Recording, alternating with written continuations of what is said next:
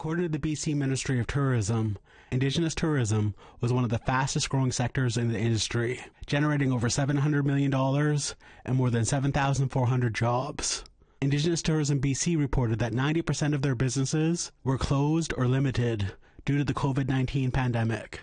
The BC government is providing $3.7 million to Indigenous Tourism BC to help Indigenous businesses return to their thriving levels by 2024.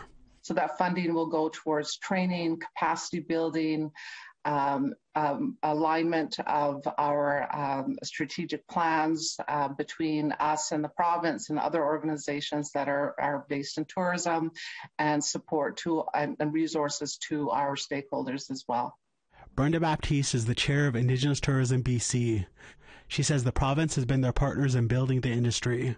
She stated the last two years have been challenging, but they work remotely to provide supports through lockdowns.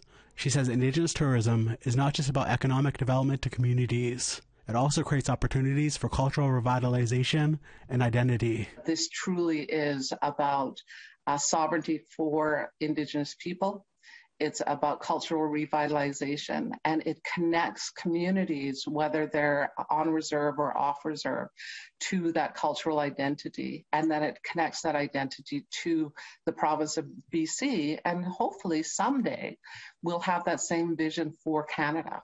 Lee Wilson, APTN National News, Kitimat.